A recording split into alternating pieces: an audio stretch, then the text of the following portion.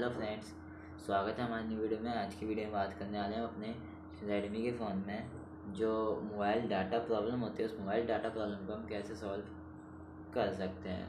तो बस mobile data problem को सॉल्व करने से पहले, आप हमारी वीडियो को लाइक एंड चैनल को सब्सक्राइब एंड बेल आइकन को दबाना ना भूलें। तो इस वीडियो को हम सिंपली शुरू कर देते हैं।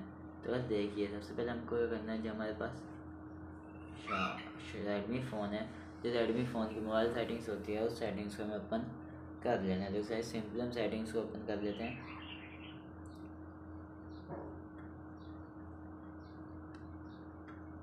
तरीके थोड़ा गलत ऐप ओपन हो चुका है। तो वैसे सिंपल हम सेटिंग्स ओपन कर लेते हैं। सेटिंग्स ऑप्शन को सेटिंग्स ऑप्शन को ओपन करने के बाद आपको क्या करना है, नीचे स्क्रॉल करना है। स्क्रॉल करने के बाद यहाँ पर आपको एक ऑप्शन शो होता है कनेक्शन एंड शेयरिंग का। सिंपली किसी ऑप्शन पे हम क्लिक कर देंगे। क्लिक करते गए यहाँ पर आपको नीचे आना है। भी स्क्रॉल करना है। स्क्रॉल करने के बाद गई यहाँ पर आपको एक ऑप्शन शो होता होगा। Reset wifi mobile network and bluetooth का ऑप्शन यहाँ पे आपको सिंपली दिखाई देता होगा। तो सिंपली कैसे हम क्या करेंगे? इस ऑप्शन पर क्लिक कर देंगे। इस ऑप्शन पर क्लिक करने के बाद गई यहाँ पर आपको क्या करना है? यहाँ पर आपको रीसेट सेटिंग्स पर क्लिक करना है। रीसेट सेटिंग्स पर क्लिक करने के बाद गई यहाँ पर आपको शो होगा।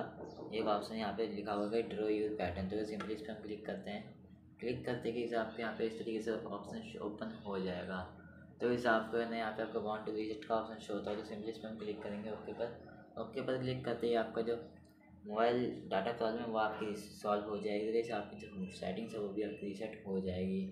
तो इस तरीके से हम अपने मोबाइल डाटा प्रॉब्लम को सॉल्व कर सकते हैं, अपने रेडमी के फ़ोन में। तो यहीं पर हमारी वीडियो समाप्त होती है अगर आपको हमारी वीडियो पसंद आती है तो वीडियो को like and channel subscribe and bell icon को दबाना ना आपको तो मिलता है अगली वीडियो तब तक के बहुत बहुत धन्यवाद बहुत बहुत थैंक यू गाइस